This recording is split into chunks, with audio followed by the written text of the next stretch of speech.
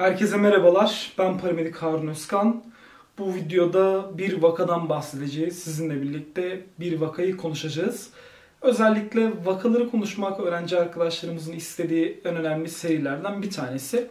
Çünkü bir vaka üzerinden olguları düşündüğümüz anda özellikle acil olgu yönetimini daha iyi oturtuyoruz kafamızda. Bu da doğaldır. Çünkü örneklendirme tabii ki de bir konuyu algılamak anlamında en önemli parametrelerden bir tanesi.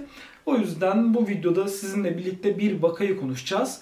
Bu vaka benim yıllar önce gittiğim bir vaka ama özellikle sizler de fark edersiniz ki bir vaka üzerinden konuştuğumuz anda kişisel verilerin gizliliği ve etik kısmına dikkat ediyoruz. Yani burada kendi aramızda da bir vakayı tartışma ya da bir vakayla ilgili bilgi paylaşımı yapacağımız zaman sadece ve sadece olayın klinik kısmı ile ilgilenmemiz gerekiyor. Yani yer, zaman, kişisel bilgileri vermememiz gerekiyor. Bu noktada buna dikkat etmemiz gerekiyor. Ben de özellikle bu vakalardan bahsederken bazı ufak nüansları değiştirmekteyim. Burada tabii ki de özellikle gizliye dikkat ediyorum ama yine de herhangi bir etik ihlali olmaması için özellikle bazı değişiklikler yapıyorum. Ve bu videoda sizlerle bir ağrı vakası üzerinden değerlendirmeler yapacağız.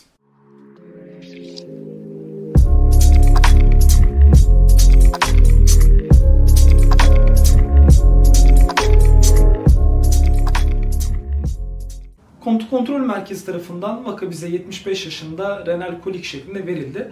Renal kolik bildiğiniz gibi hastane öncesinde sıklıkla gittiğimiz ağrı türevlerinden bir tanesidir. Belki aciliyet anlamında akut olarak çok ciddi bir problem ifade etmese de ancak kişiye yarattığı huzursuzluk anlamında gerçekten insanları zorlamaktadır. O yüzden mesela renal kolik gibi, lumbalji gibi vakalarda sıklıkla ambulans talebinde bulunulmaktadır. Bu bizim için belki hani gerek yokmuş gibi düşünülse de kişinin yaşadığı ızdırap anlamında düşündüğümüz anda tabii ki de bu kişilerin ambulans çağırması aslında gayet normal. Bunu böyle düşünmek gerekiyor. Vakaya giderken vakayla ilgili tabii ki de ne olabileceği konusunu düşündük. Ekip içinde görev ve malzeme dağılımımızı yaptık ve herkes işte çanta, monitör, alması gereken ekipmanı aldı ve vaka yerine çıktık. Burada özellikle tabii ki olay yeri güvenliğini sorguladık öncelikle. Yani girişte ya da bizi işte karşılayan kişi olsun vesaire genel anlamda bir olay yeri güvenliğini inceledik. Sonrasında ben kendim ve ekip arkadaşlarımı tanıttım. Onam alarak hastanın yanına gittim. Hastaneye gittiğimde hemen bir ABC'yi bir değerlendirmeye çalıştım. Hastamın bilinci açıktı. Otomatik olarak ABC'si pozitifti. Yeterlik anlamına baktığımda herhangi bir hava yolunu kapatan ya da herhangi bir darlık oluşturabilecek bir durum gözlemlenmiyordu ve hastanın bir artmış solunum çabası vesaire yoktu. Dolaşımda baktığım anda en azından cilt rengi vesaire güzeldi.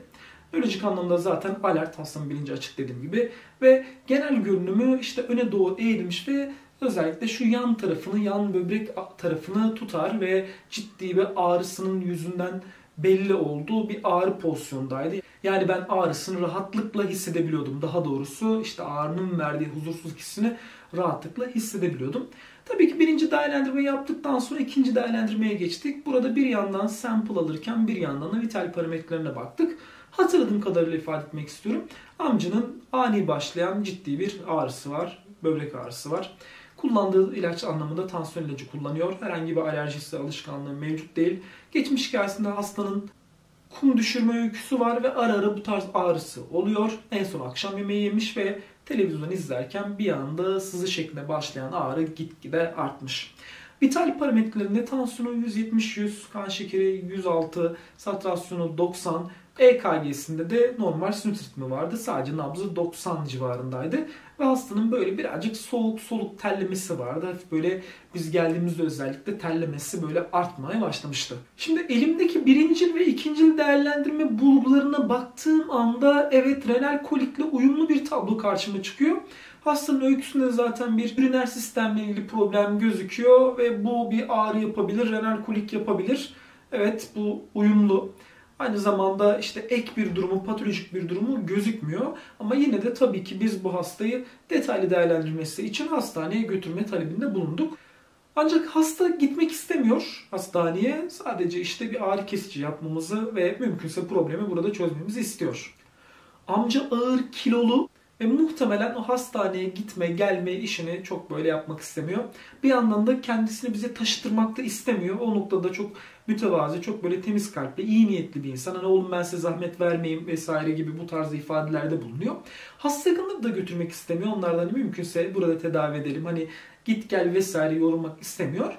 Yani orada komuta kontrol merkeziyle görüşüp komuta kontrol merkezi danışma hekimin onayıyla belki bir ağrı kesici yapıp orada bırakabilirdik. Bu noktada komuta kontrol merkezi iletişime geçebilirdim.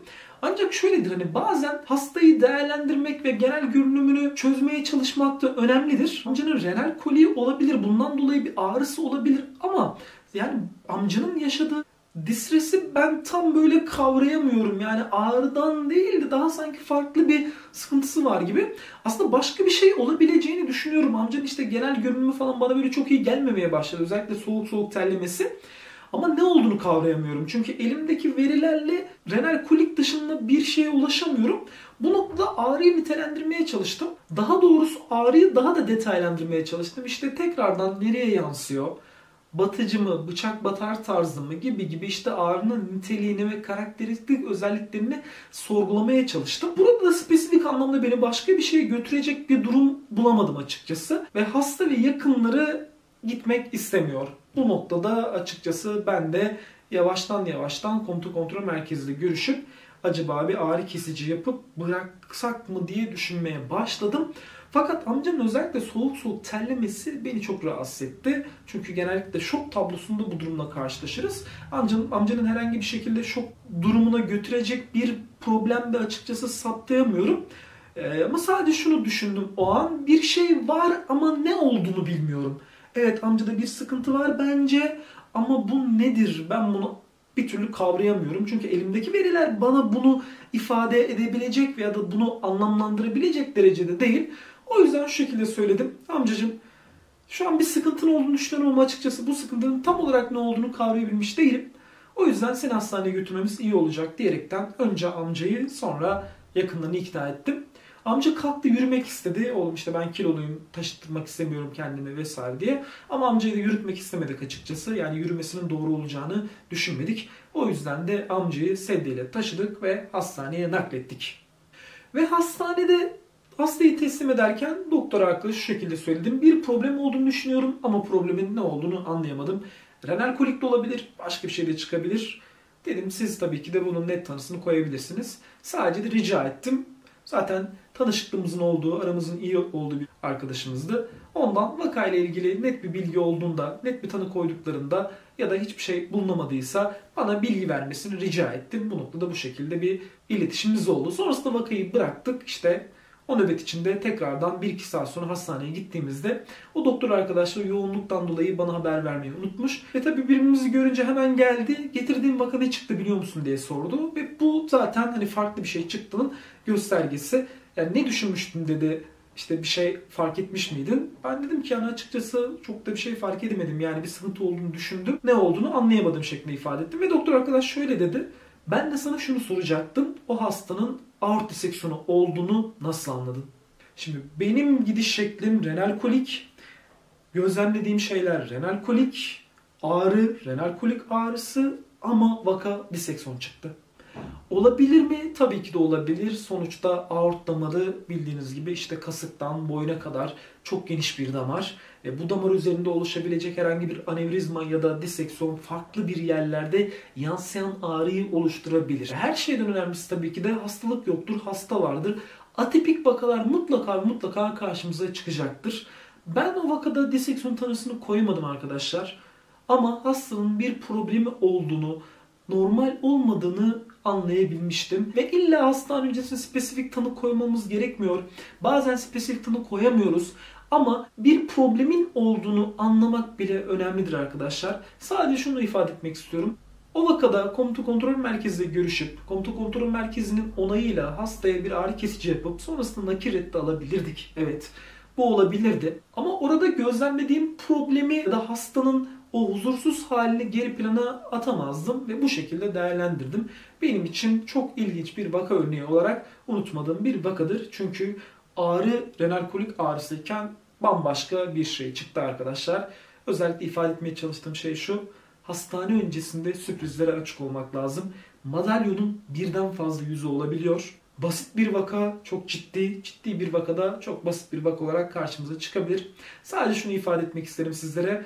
Acil olgu yönetiminin bütün basamaklarını uyguladığımız anda vakalara daha hakim olacağız ve vakaları kaçırma ihtimalimiz, tanıları kaçırma ihtimalimiz azalacaktır. Sadece bu vakayı sizinle paylaşmadaki amacım detaylı muayenenin kıymetli olmasıdır diyebilirim. Beni için teşekkür ederim.